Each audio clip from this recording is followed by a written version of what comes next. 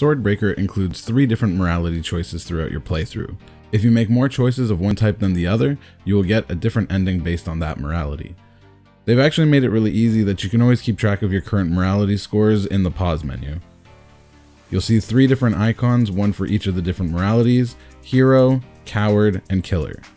Hero morality is when you save people or choose not to kill them.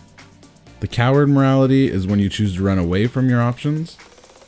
And the killer is when you kill people when you don't need to. Getting all three endings can be tricky, so I'll show you how to get them in this video. Timestamps to each ending is in the description down below. In case it's too fast to see in the video, I've also listed the choices I made for each ending in the description down below. There are many different ways to get to each of the endings, these are just one set of steps that you can take to get to the outcome you want.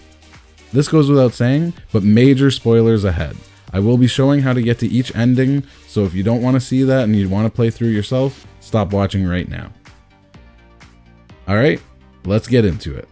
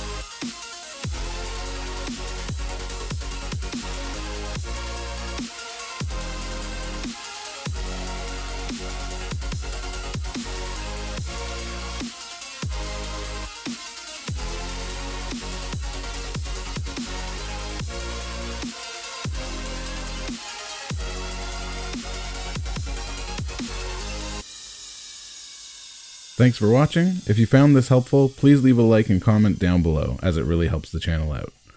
That's it for now. As always, happy gaming.